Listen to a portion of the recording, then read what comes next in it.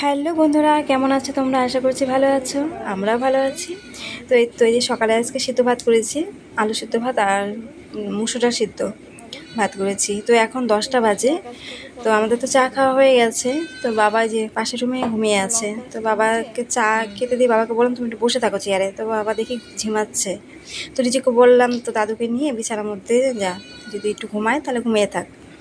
তো এখন ভাবছি, না, দশটা বাজে। তো খেতে দিই। এখানে তিন থালে ভাত রয়েছে, আমার রিজুর আর রিজু দাদুর। কারণ বাবার খাওয়ার পর আবার ওষুধ আছে, ওষুধ খেতে হবে। এতক্ষণ আমি সেলাই কাজ করছিলাম, ব্লাউজ। তো যে বাবাকে উঠিয়ে যে ভাত, একটু মেখে দিলাম ভাতটা। এখন গরম ভাত না পারবে না মাখতে। আর এখানে যে চাদরটা দেখছে, চাদরগুলো সব ধুয়ে দিয়েছি। বাবা পেচ্ছাপ করেছে চাদরে। আর নিচে যে কাঁথাটা দেখছে, প্লাস্টিকের নিচে কাঁথাটা এই কাঁথাটাও ভিজিয়ে ফেলেছে কালকে।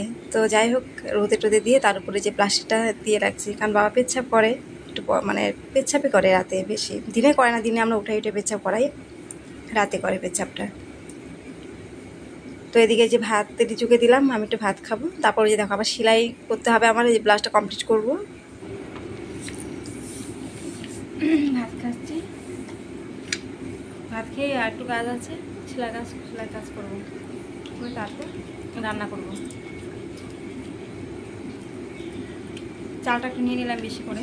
না তো দুপুরে আবার রান্না করতে হবে আমার। পরে রাতে রান্না করব। এখন খালি তরকারিটা করব, তরকারি করব আর একটা কী রান্না করি, কী সবজি কী আছে বা জ্ঞান, দেখতে হবে ফ্রিজে করে কী আছে।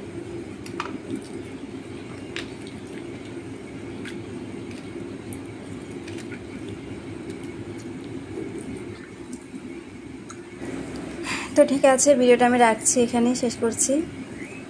ভিডিওটা দেখার জন্য অনেক অনেক ধন্যবাদ তোমাদের। টাটা।